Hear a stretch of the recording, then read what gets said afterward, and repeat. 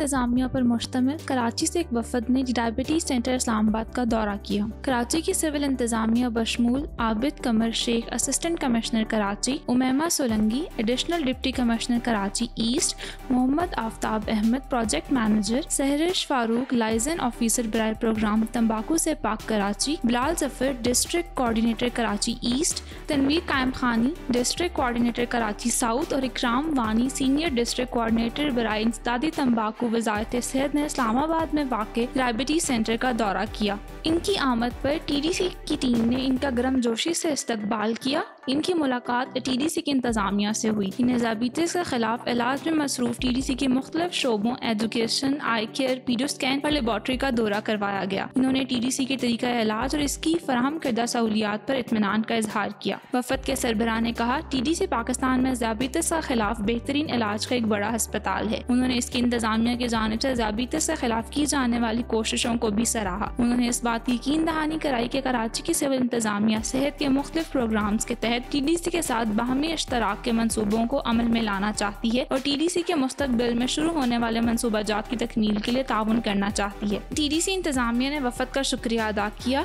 कि उन्होंने T D C का दौरा किया। उन्होंने मजीद कहा कि टी डी सी को मुस्तबिल की काविशों के लिए सरकारी हुकाम के ताउन और मदद की अशद ज़रूरत है।